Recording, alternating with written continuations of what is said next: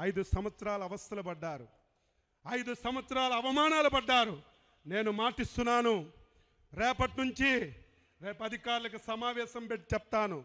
రేపటి నుంచి ప్రతి కార్యకర్త ఎస్ఐ దగ్గరికి వెళ్ళినా ఎంఆర్ఓ దగ్గరికి వెళ్ళినా ఎండిఓ దగ్గరికి వెళ్ళినా ఏ ఆఫీస్కి వెళ్ళినా మీరు పసుపు బిల్ల పెట్టుకొని వెళ్ళండి.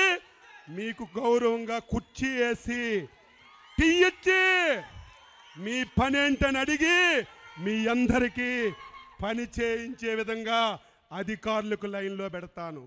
ఎవరైనా ఒకలో ఇద్దరు నా మాటకు జవదాడితే ఏమవుతారో వారికి నేను చెప్పవలసినటువంటి అవసరం లేదని చెప్పి తెలియజేస్తున్నాను.